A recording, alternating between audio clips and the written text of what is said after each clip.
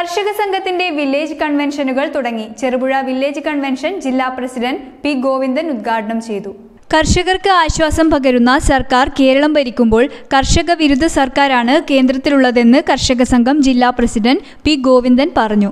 കർഷക സംഘം Cherupuzha village convention ഉദ്ഘാടനം ചെയ്ത് സംസാരിക്കുകയായിരുന്നു അദ്ദേഹം.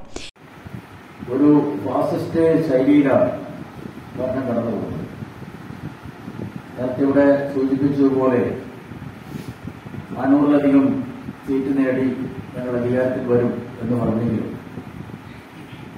കേവല ഭൂരിപക്ഷം ബി ജെ പിക്ക് ലഭിക്കാത്ത സ്ഥിതിയാണ് പതിനെട്ടാം ലോക്സഭാ തെരഞ്ഞെടുപ്പുണ്ടായത്.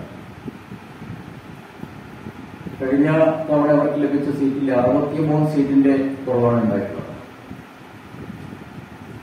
ഇന്ത്യ മുന്നണിക്ക് മുപ്പത്തെട്ട് സീറ്റിന്റെ കുറവാണ്. ഭരണം ലഭിക്കുന്നതിന് വേണ്ടി തടസ്സമായി നിന്നിട്ടുള്ളത്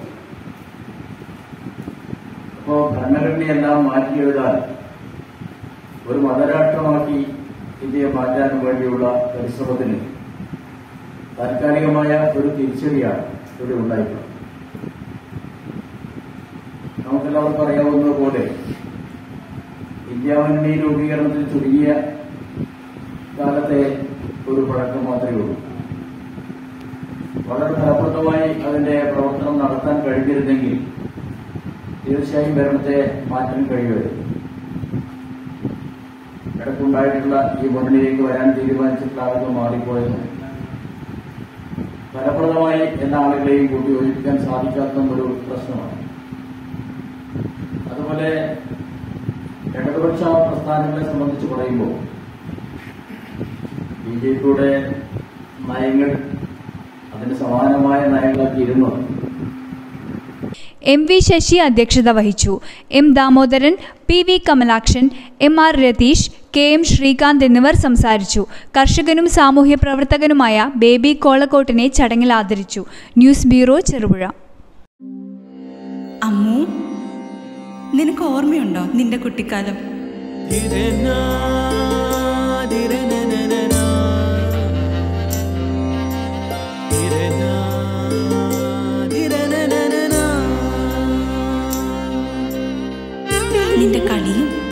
ചിരിയും കുസൃതിയും.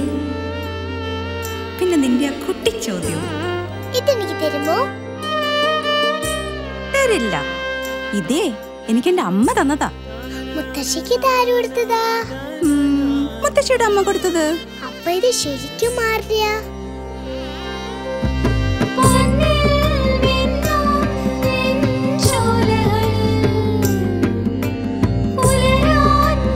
ഇതെനിക്ക് തരുവോ?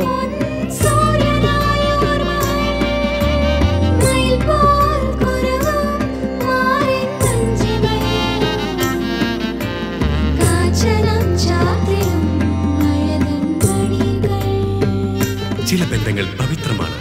കണ്ണും നിറയും മനസ്സും നിറയും. സ്വന്തം ജോസ്കോ ജ്വല്ലേഴ്സ്. ഇനി സംശുദ്ധമായ സ്വർണം ചെറുപുഴയിൽ.